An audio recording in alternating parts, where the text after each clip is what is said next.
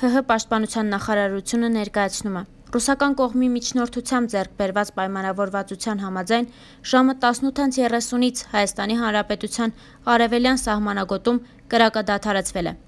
Իրադարձությունը հարաբերականորեն կայուն է։ Հիշեցնենք, որ նոյեմբերի 16-ին ժամը 13:00-ի սահմաններում Ադրբեջանի զինված ուժերի ստորաբաժանումները հարձակում են գործել սահմանի տվյալ ուղությամբ տեղակայված հայկական դիրքերի վրա։ Հակառակորդը կիրառել է նաև հրետանային միջոցներ, զրահատեխնիկա եւ տարբեր տրամաչափի հրաձգային զինատեսակներ։ Հայկական կողմի պատասխան գործողությունների արդյունքում հակառակորդն ունի կենթանի ուժի մեծ աթիվ կորուստներ։ Մի քանի միավոր զինտեխնիկա ոչնչացվել կամ շարքից դուրս է բերվել։ Հայկական կողմը նույնպես կորուստներ ունի։